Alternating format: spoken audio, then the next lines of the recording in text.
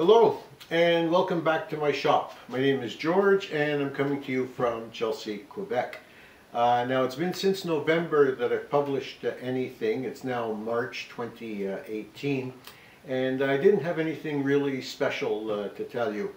Uh, today however I do. It's uh, a self-centering router mortiser for making mortises that are intended to be used with uh, floating tenons. Uh, the design is uh, not original, uh, but there are some elaborations that I haven't seen elsewhere. So let's get going. The project starts off with uh, a plunging base for a router. After that, it's good, fast, and cheap. Uh, good because it works well and is versatile. Fast because it's fairly easy to build. And uh, cheap because, well, you build it yourself. Now the heart of it is to have a couple of pins on a base that are on the diagonal and the same distance away from the center. Now this idea is not original. There are uh, at least three YouTube videos that show you how to make a separate base uh, with these kinds of uh, pins. So uh, one of them is by Rob North. Uh, another one is a fine woodworking uh, video, a fairly recent one, with a reader tip sent in by um, Adam Lindsay. And the third one is a Charles Neil video now in Charles's case, the main video is about uh, using guide bushings. Uh, but in the center of it, he does talk about this kind of a base where uh, there's a separate base with uh, a couple of pins. Um, now all three videos, I've got references to all three videos in the uh, YouTube notes on this uh, channel for this video. Now, the way I did it is just a slight variation of that. Uh, when I took the base plate off, I found all kinds of uh, tapped holes. And, uh, it, and so I was able to find a, a pair of uh, tapped holes, they're M4s as it happens, uh, that are on the diagonal and same distance away from the center. So I just used the existing ones. Um, so a couple of machine screws, along with uh, well-sized bushings. These happen to be 3D printed, but you could just as readily make bushings using uh, some doweling, uh, or you could uh, get some um, either plastic or brass tubing where one size fits into the other. These are easily available in uh, well-stocked hobby shops. Uh, and it's referred to as telescoping tubing because one size fits into the other. and So you can just choose a few sizes uh, and make a bushing that has the right inner diameter for the uh, screw and an outer diameter that suits your purposes. So the way it works, the way it becomes uh, self-centering is you put it onto your workpiece, you give it a little bit of a counterclockwise twist. Now, why counterclockwise? Well, your bit is going to be spinning clockwise and uh, that's going to cause the uh, router to want to go counterclockwise so you go with that put a little bit of a counterclockwise twist to it and push the thing uh, away from you so that's basically how it works if you think there's problems with this method uh, you're ahead of me let me talk about three problems right off the mark uh, one of them has to do with uh, balancing a router on a thin workpiece. Uh, you'll want more stability than the workpiece alone will give you. We're going to solve that problem. Problem number two is that the lead pin falls off long before you've reached the end of your workpiece. Uh, sometimes you're going to want mortises that come close to the end of the workpiece, let's say uh, a quarter of an inch or three eighths of an inch away from the end. So that's problem number two. Problem number three is that you're not going to want all of your mortises to be centered all of the time. And uh, that's a bit of a shortcoming of using just the, the two pins alone. If you're, um, for example, bringing uh, some aprons into um, a table leg, uh, you're going to want the mortises in the table leg not to be in the center. You want them outbound a little bit because that lets you make a deeper mortise and use a longer uh, tenon. So we're going to solve all three of those problems. So here's the solution to the three problems. These are uh, cleats that I made up uh, using MDF. Now I chose uh, MDF because of its uh, dimensional accuracy. If you uh, buy uh, MDF that's a quarter inch thick, you will get exactly one quarter inch thick MDF. And so I made these uh, at different thicknesses. So here are a couple where I took four panels of the uh, MDF and glued them together to give me a one inch thick piece. So there's two of those. Two or three panels together for three quarters of an inch and then a half inch and a quarter inch. And I also tossed in um, a piece of scrap that I had that works out to be one eighth of an inch um, thick. So the uh, dimensions for these guys are uh, 16 inches by 3, approximately. After you trim them down, it'll be a little, a little bit shy uh, of that. Uh, the corresponding metric uh, dimension would be 400 millimeters of length and 75 millimeters of width. And the uh, thicknesses would be about 25, about 19, 12 or 13, 6, and a three millimeter thick uh, piece as well. So these guys can all come from a single quarter sheet of uh, quarter inch uh, MDF. As a final step, you will want to iron on uh, a nice gliding surface. So edge banding, uh, either um, a wooden edge banding, in my case I used uh, melamine, um, and you'll put it on the thicker of your cleats. So I put it on my one inch uh, cleats, my three quarters, and uh, my half.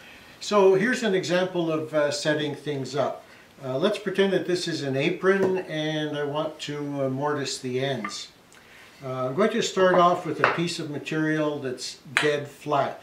So this happens to be a piece of phenolic that I bought from a cut-off bin um, any kind of flat material will work, so plate glass, uh, the cast iron top of a table saw, even your own workbench if you know that it's uh, dead flat. Um, now I'm going to raise the workpiece uh, by the thickness of a playing card. So this, um, what I'm doing here is raising it uh, but the final outcome is that it's going to be below the surface. So here are my one inch cleats and I'm going to put them on either side of the workpiece.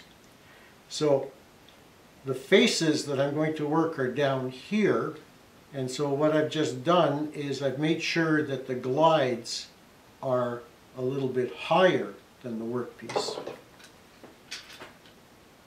and we'll just clamp things in place. Being careful not to put the clamps too close to the work edge because the pins need to uh, ride past the clamps.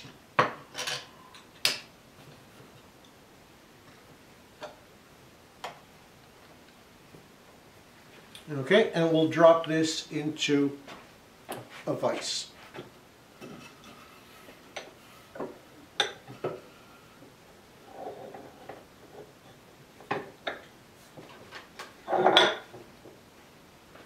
So the vise is clamped onto the workpiece but not onto uh, the cleats. So now when it's time to route, now of course now what I left out is that you'll have this marked for where you want to start and stop. And you can see that we've got a very nice glide past the workpiece. And we've solved problems one and two. So problem one was not having a wide enough base, so worrying about this thing uh, teetering. Well, we've got the wide base now, so that's not a problem. And because this is a little bit longer than the workpiece, uh, we can go as far as we want, even past the workpiece if that's what you want, without worrying about the leading pin falling off the end. Now, here's a scene from some earlier footage where I've actually done some routing. Uh, and you'll uh, notice that uh, the router did catch a little bit. So that was before I had perfected uh, the smooth glide of uh, setting the um, cleats a little bit higher than the workpiece.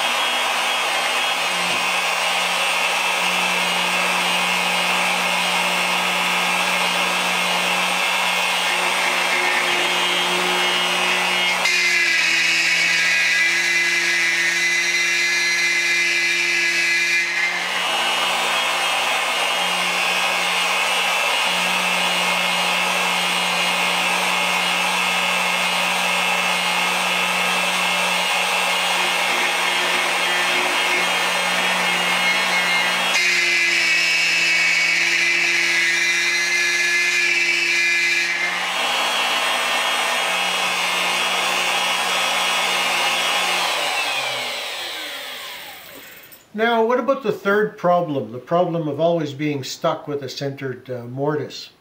In some earlier footage that I uh, dropped, I explained very carefully how the two cleats had to be identical in thickness, otherwise you wouldn't get a centered mortise. And then as soon as I said that, I realized that, oh, you could pull the mortise over to one side or another just by using cleats that were different in the thicknesses. And that's why there's so many thicknesses in these guide cleats. So take a look at this for instance. One inch on one side, half an inch on the other.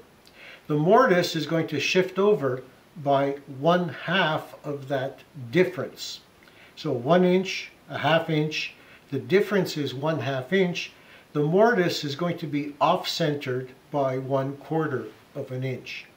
Uh, here's an example of me making that calculation. Okay, I'm going to introduce the offset now. So here's my leg material, 1 and 7 eighths of an inch across. It'll be easier to work things out if I convert that to 15 eighths of an inch.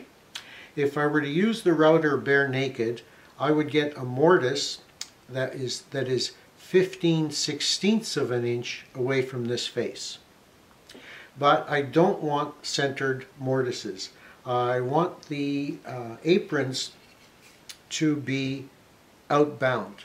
Uh, the reason is that my uh, mortises are fairly deep and I don't want them running into each other. So I'm going to shoot for a one quarter inch reveal. So one quarter is two eighths of an inch and the existing mortises are another three eighths of an inch back from that. So the existing mortise is going to be 5 eighths of an inch away from this face. A centered mortise would be 15 sixteenths away from this face. So 15 sixteenths for a centered mortise minus 10 sixteenths for the desired position leaves me with 5 sixteenths of an inch. So the position of the mortise is going to be 5 sixteenths of an inch away from the center, okay, in this direction by 5 sixteenths. So to get a 5 16th inch offset, I need a 5 8 inch extra bit of material on that side. So when I build up to make to route out the mortise, I'm going to use my one inch uh, thick um, uh, rails or yeah rails um, so that the uh, router gets a smooth ride. And then I'm going to add 5 eighths of an inch extra on the outbound side. Now when I prepared these things I prepared the smallest uh, dimension, the smallest thickness was a quarter inch so I had to rummage through the shop and I found some material that was an eighth of an inch thick and so I cut a panel uh, from that as well. So to get that mortise in the right place I have to add 5 eighths of an inch on this side. Now those of you who chose to be born in a country that uses metric, pat yourselves on the back. Well, there it is, all done, the result of all those uh, mortises and uh, floating tenons. It's uh, a piano bench in uh, cherry. Uh, now, if it ever happens that uh, you come to the end of your day and you've got some swear words left over, try upholstering for the first time. you'll, you'll use them up. Okay then, what do you say we go after the fourth problem? What fourth problem? You didn't say there was a fourth problem. Well, yeah, there is.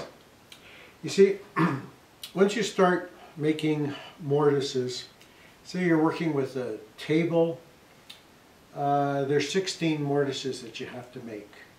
So 8 for the aprons, another 8 for the legs. And you're going to get tired of constantly repositioning the stop blocks according to where the marks have been made on the wood. You're going to want to uh, adjust the stop blocks for the first of the mortises and then use the same stops over and over again for the remaining seven. So that's where these components come in. Let me bring you in for a closer look. So the fourth problem is that of um, constantly having to adjust stop blocks for every one of the mortises, even though seven mortises are just repetitions of the first. So I decided to make things a little bit fancier, and I won't go into details about this elaboration in this video, but if you're interested, leave me a comment and ask me for more information. Basically what they are are some a cylinder and a few blocks. They're 3D printed and what they let me do is to set up the first workpiece and then to keep these things in place for the remaining seven. So you don't have to constantly be readjusting the stop blocks for every one of the mortise. So there's one stop block that sets the position of the workplace according to the cleats. And then these other stop blocks that have these tabs, the tabs fit a groove that's been cut into uh, this workpiece. And without going into the details of it, they let me position a stop block for the advance of the router and another stop block for the router's retreat. And they give me 1 16th of an inch resolution from an eighth of an inch through to 1 and 7 sixteenths of an inch. Okay, so I get a whole bunch of uh, different places where the router's travel can stop. And there's uh, two of each color because sometimes I might want to use the same measurement for the front and the back of the router. Let me just uh, illustrate that with a quick fake demo and uh, we can call this uh, video a wrap. So here's the setup just to illustrate the, uh, the workings of the uh, stops that I've added to the system. Um, so I've got the three quarter inch cleats on either side to give me the smooth glide that I want. The workpiece has been justified against the stop that you can't see in between these two guides. And then, taking my time, I adjusted the position and the orientation and of course the choice of whether it's the, uh, the red one or the blue one or the green one that I use to give me the right amount of travel according to whatever I've marked on the workpiece. So the first one takes a little bit of time to set up. But after that, you've got just the right amount of travel that you want for the workpiece. And the rest of the workpieces just have to go in, get justified against the inner stop. Uh, these guys stay in place, and then you can do the second and the third through to the seventh um, in a, without having to set the whole thing up again. Now, I haven't gone into detail about how I made these. I'd be happy to if there's any interest. So if you are interested in how these things were made, what their dimensions were, and all the rest of that, uh, leave me a comment. I'll make another video about it. But for now, let me just say, whatever your passion is, share it.